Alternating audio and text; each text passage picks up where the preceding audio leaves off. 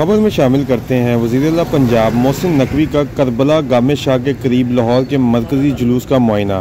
मोहसिन नकवी ने मरकजी जुलूस के सिक्योरिटी इंतज़ाम का जायजा लिया। पंजाब की तारीख में पहली बार इंटरनेट सर्विस मुतल किए बगैर मुहर्रमुल हराम में क्याम अमन यकीनी बनाया गया।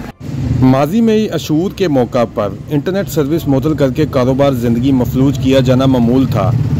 हराम में बेहतरीन इंतजामी और सिक्योरिटी इंतज़ाम का सेरा वज़ीर अला पंजाब और उनकी टीम के सर सजा है। वज़ीर अला पंजाब मोहसिन नकवी की क्यादत में सूबे भर में मुहर्रमुल हराम नहायत पुरमन रहा। इंतजामिया और सिक्योरिटी इदारों की अनथक मेहनत से बदअमनी और मजहबी मुनाफरत का कोई वाक़ पेश नहीं आया। निगरान वज़ीर अला पंजाब मोहसिन नकवी का करबला गामे शाह के करीब लाहौर के मरकजी जुलूस का खुद मुआयना। मोहसिन नकवी का मरकजी जुलूस के अजादारों के लिए किए गए इंतज़ाम पर इतमान का इजहार। पुलिस, इंतजामिया, पाक फौज, रेंजर्स, वासा और दीगर अदारों ने अनथक मेहनत और जज्बे से सर अंजाम दिए। Chief secretary I G Punjab, commissioner Lahore C C P O Lahore, secretary इतलात D G P R deputy commissioner और मुतल हकाम भी इस मौका पर मौजूद थे।